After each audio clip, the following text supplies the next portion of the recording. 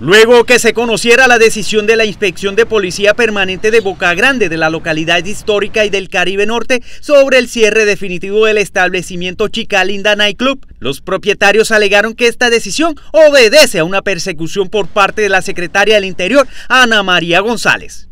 Desde que la señora Ana María entró al cargo he sentido una persecución porque en otras administraciones no había ocurrido. Es más, si realizaban operativos pero algo de cada un año. En esta administración ha sido muy seguido. Asimismo, precisaron. Lo que está haciendo es algo ilegal. Este es un negocio que en los 20 años nunca generó ningún tipo de violencia, ni encontraron droga ni menores de edad. Por su parte, desde la personería distrital indicaron que el cierre fue legal y obedece a que el día 15 de mayo los representantes de Chica Linda no asistieron a una audiencia programada.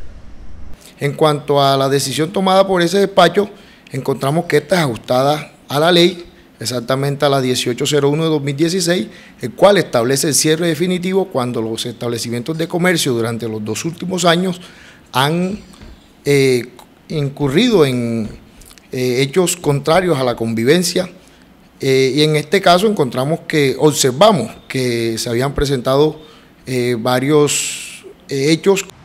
Entre tanto, el propietario del establecimiento deja claro que el caso lo están estudiando los abogados para revisar si efectivamente el procedimiento y el fallo que llevó al cierre estuvo dentro del marco de lo legal.